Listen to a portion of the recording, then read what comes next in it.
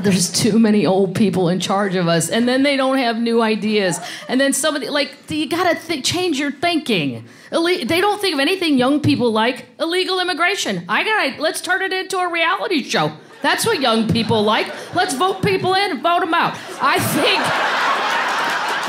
we can all agree there's some illegal immigrants that are here that we would like to stay. And I think we can also all agree there's quite a few Americans that haven't panned out. So let the games begin.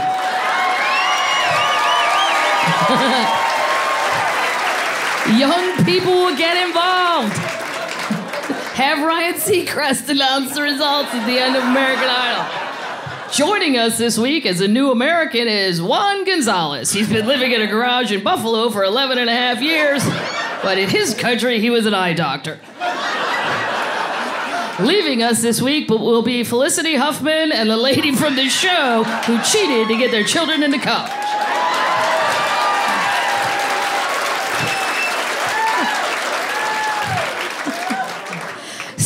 Old people things work in government. The one thing that I think is the most awesome thing in our country that is underrated, and if it can work this good, why can't everything else? The post office. And I can't believe when I have friends, people in their 30s and 40s, did you think they write the practice stamp again?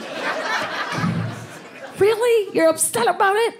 I think it's a miracle. I can't believe that I can walk into a building with a piece of paper in my hand and look at another adult and go for 55 cents Will you take this to Alaska?